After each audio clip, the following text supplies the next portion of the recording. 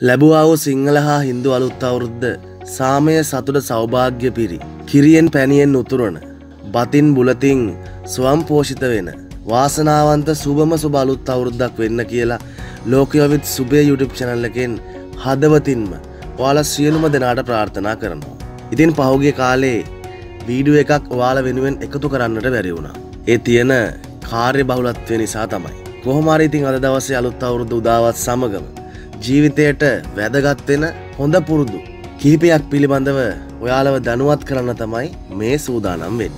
කිසිම කෙනෙකුට එකළඟ දෙපාරක් දුරකත නැමතුමක් ගන්නට යන්න එපා. එහෙම අරගෙන එයාල පෝර්ණ එක ආන්සය කරන්නේ නැත්නම්. ඒකෙන් පැහැදිලි වෙන්නේ ඔවුන් ඉතාම වැදගත් වැඩක ඉන්නවා කියලා තමයි. ඒ නිසා ඔවුන්ට කරදරයක් වෙන්නට පුළුවන්. නිතර නිතර එකළඟ ඇම්තුම් ගන්නට යන්නට එපා. කාගෙන් හරි නයමුදලක් ලබාගත් පසුව එය ඉල්ලන්නට පෙර ලබා දෙන්න ඔයාලා නිහතමානී වෙන්න ඕන. එතකොට ඔබගේ අවංකත්වය හා චරිතය ගැන හොඳ ප්‍රතිරූපයක් ලබාදීමට ඉවහල් වෙනවා. කවුරුන් හෝ ඔබට ආපන ශාලාවක ආහාරවේලක් ලබා ගැනීමට ආරාධනා කළ පසුව එම අවන්හලේ තියෙන මෙනූපත බලලා එහි තිබෙන මිල අධිකම ආහාරය ඇනවුම් කිරීමට ඔයා සූදානම් වෙන්නට එපා.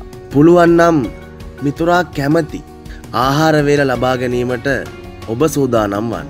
දෙදෙනෙකු කතා කර කර ඉන්න අවස්ථාවක කවදාවත් ඔවුන්ට බාධා කරමින් සංවාදයට පිවිසෙන්න්නට එපා. කෙනෙකු ඔබට සුළු හෝ උදව්වක් කළ විට බොහොම ස්තුතියි කියන්නට පුරුදුවෙන්න.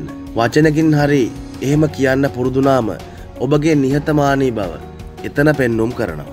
කවුරුන් හරි කෙනෙක් ඔවුන්ගේ පෞද්ගලික ජංගම දුරකතනයෙන් ඡායාරූපයක් පෙන්නූ පසුව දුරකතන තිරය දෙපැත්තට ස්වීප් කරන්නට එපා.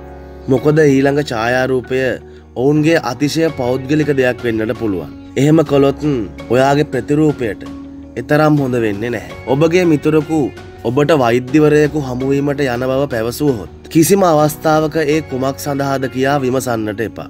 ඒ වෙනුවට සියල්ල හොඳින් සිදුවේවා ලෙසින් ඔවුන්ට සුභපතන්න. ඔවුන් කැමතිනම් පමණක් එය ඔබට පවසාවි. එම නිසා රෝගය කුමද්දයයි ඔවුන්ට අකමැත්තෙන් වුවද කීමට සිදුවන විදියේ අපහසුකාරී තත්ත්වයකට සංවාදය දික්කස්සන්නට එපා.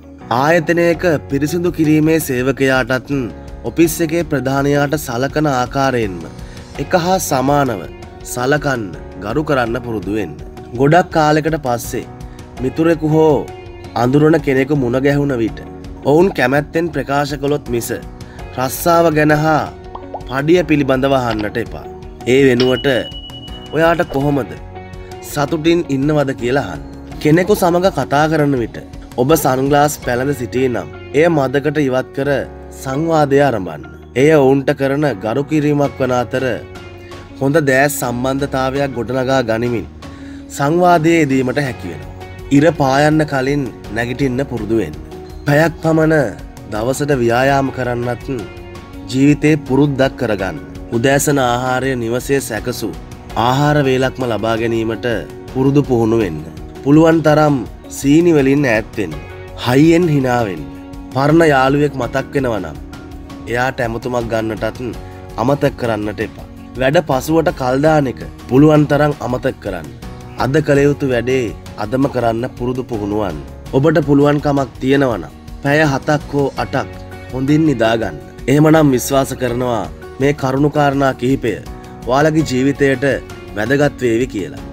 තවත් මොනොහරි වාල මේ පිළිබඳව හැමෝටම වැදගත්තන දෙයක් තියෙනවනන් ඒක කමන්ට් එකක් හැටියට එකතු කරන්නත් අමතක් කරන්නට එපා. එහෙනම් ලැබවා වූ සිංහල හා හින්දු අලුත් අවුරුද්ද සාමය සතුට සෞභාග්‍ය පිරි. ප්‍රීතිමත් වාසනාවන්ත සුබම සුබලුත් අවුරුද්දක් වෙන්න කියලා ප්‍රාර්ථනය කරලා ලෝකයෝවිත් සුබේ යුටුප් චැනල් එකෙන් අදර නිහඬ වෙනවා ඔබ සැමට තෙරුවන් සරණ ප්‍රාර්ථනය කරලා.